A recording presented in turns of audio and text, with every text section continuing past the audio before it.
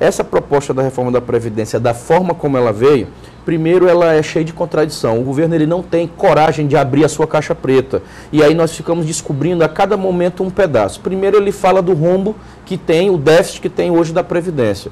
Aí ele não consegue segurar a sua proposta como um todo. Começou logo cedendo, abrindo para os militares. Aí depois abriu para as Forças Armadas.